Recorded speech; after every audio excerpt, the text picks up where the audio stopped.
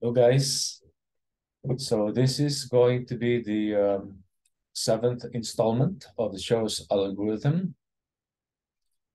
Um, it is assumed that you have already covered um, the first up to the sixth um, lesson.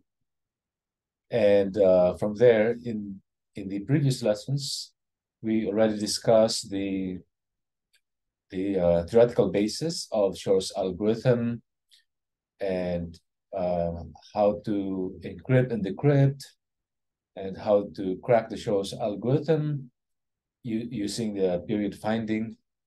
And uh,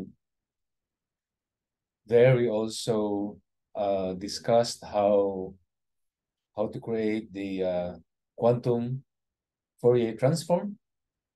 So in this uh, last session, we are going to um, we're going to connect all of the concepts and show you uh, the entire Shor's algorithm.